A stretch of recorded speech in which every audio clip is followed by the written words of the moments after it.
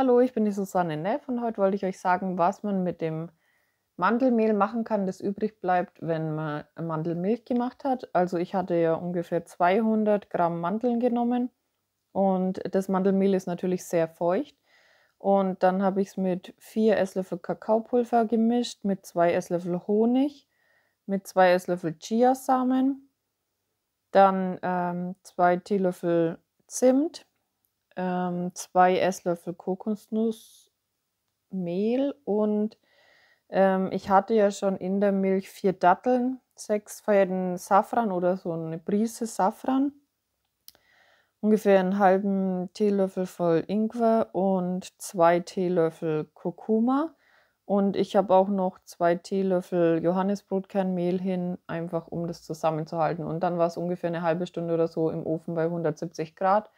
Das müsst ihr selber schauen, wie die dann, ähm, wie ihr sie haben wollt, ob ihr sie mehr ähm, knusprig haben wollt oder ein bisschen weicher.